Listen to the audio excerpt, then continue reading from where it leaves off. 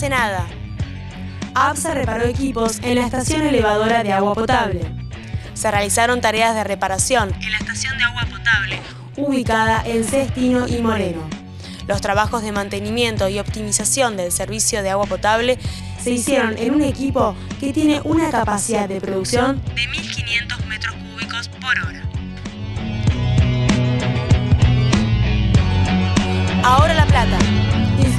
Programa de apoyo y contención para el ingreso.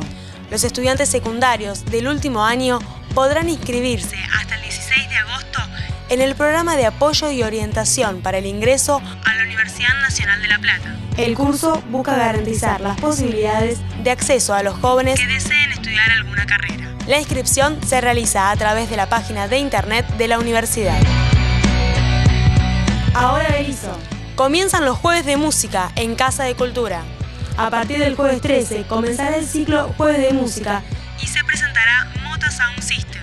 El evento es organizado por la Dirección de Cultura de la Municipalidad de Berizo y se realizará en el Salón Auditorium de Casa de Cultura desde las 20 horas en Avenida Montevideo entre 10 y 11 con entrada libre y gratuita.